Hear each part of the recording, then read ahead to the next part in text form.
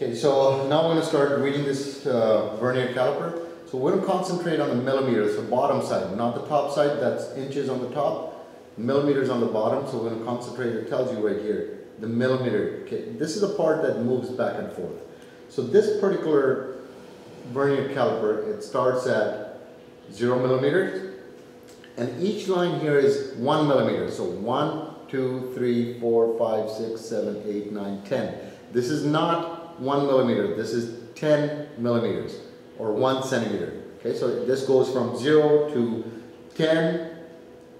Okay, you got 20, 30, 40, 50, 60, 70, 80, 90, 100, 110, so on, and it goes all the way to 200 millimeters or same as 20 centimeters.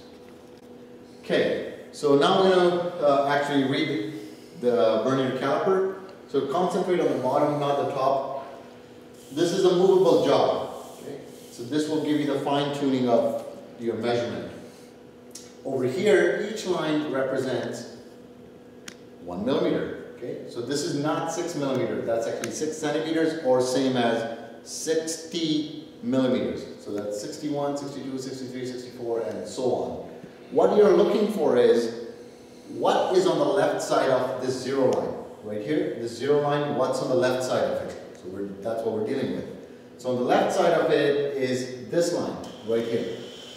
So this line is 60 millimeters. This is 61 millimeter, 62, 63, 65, and so this is 66 millimeters.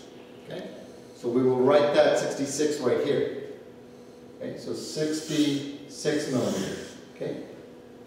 And these ones down here, each line right here, it represents 0, 2 of a millimeter. Okay, so if you look there, it shows you that it's 0, 2 of a millimeter. Okay? So that's 0, decimal 0, 2, this is decimal 0, 4, that's zero six, decimal zero eight, and so on. Okay? So what we're looking for here is which line goes right through. So from the bottom, this is the movable part, which lines up exactly with the top lines here. So if you see they're quite far here, you're going to get closer and closer and closer and closer. And from what I see, this is the line that's matching. It goes right through. So this line right here. So if this is 4, which means it's actually a decimal 4, 0, this will be decimal 4, 2. This is decimal 4, 4. So we add that to our 66, which we got from this line. Okay? So 66 decimal 44 millimeters. It's pretty simple. It's, it's a lot easier to read than an um, imperial vernier caliper.